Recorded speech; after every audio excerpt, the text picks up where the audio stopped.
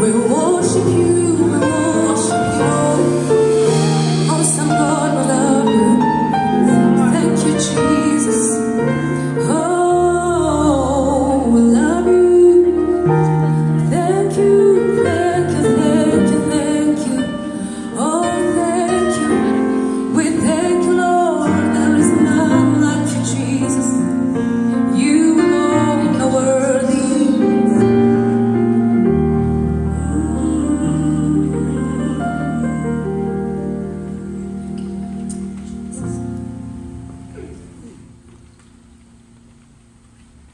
Haleluya.